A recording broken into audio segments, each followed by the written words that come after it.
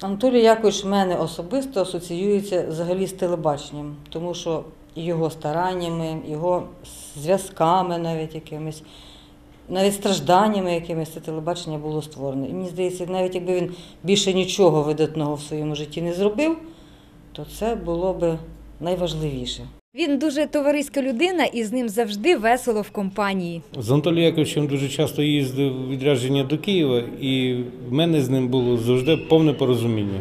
Мені, як бухгалтеру, з Анатолієм Яковичем було завжди легко працювати, тому що він розумів роботу бухгалтерії, завжди нас підтримував і розумів навіть наші цифри.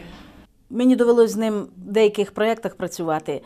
Це вміла, мудра дуже людина, яка може підказати і бачити своє якесь таке внутрішнє відчуття, але і міг, хоч він і вищий був за чином, міг і послухатись, і погодитись з моїми е, підказками. Тому мені було приємно з ним працювати. Це дуже порядна, е, розумна, е, толерантна людина, яку я дуже поважаю, який мене і виручав багато раз, і в, і в походах ми з ним зустрічались, і на роботі підтримка постійна.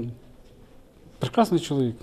Його легко можна уявити в лицарських обладунках, адже майже всі свої свідомі літа Анатолій Трачук був і залишається відданим лицарем телерадіокомпанії Поділля Центр. Зеленим випускником Львівського університету прийшов на Хмельницьке обласне радіо і відтоді зростав разом із цим колективом, і як професійний журналіст, і як особистість. Пройдуть довгі роки, перш ніж Анатолій Трачук зможе реалізувати свою давню юнацьку мрію. Правда, шлях до її втілення виявився нелегким, але як кажуть, охота гірша від неволі. Здолавши масу бюрократичних перепон та переконавши навіть першого українського президента в тому, що Хмельницькому ніяк не жити без власного телебачення, він засукав рукави.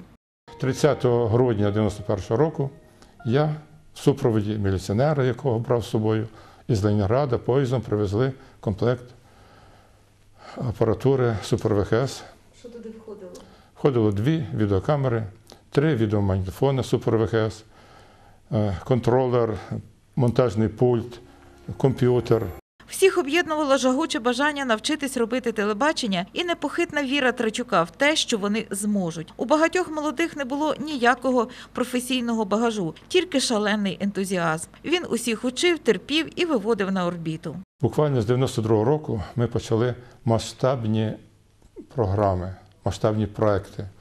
Зокрема, огляд художніх колективів області почали знімати по всій області, побували в кожному районі, в кожному місті телефестиваль Подільське намисто.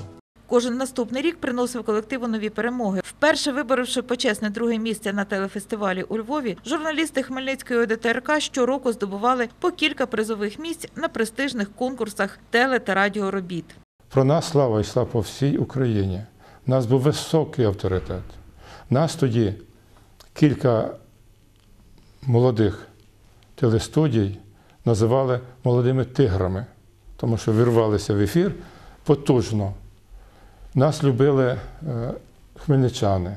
У всіх його підлеглих були відпустки і вихідні. Трачука можна було застати у робочому кабінеті і в суботу вранці, і в неділю ввечері. Він завжди жив роботою, але й робота жила ним. Лауреат багатьох телевізійних конкурсів, професіонал з великої літери, заслужений журналіст України Анатолій Трачук, гордий від того, що його дітище, якому нещодавно виповнилося 25 років, виросло, зміцніло і розправило крила. Я нині радію, що телебачення існує. Багато моїх працівників, яких я приймав, яких би, так би мовити, робив якийсь виховний вплив, працюють, успішно працюють, розвиваються от, і піднімають рівень телепрограм.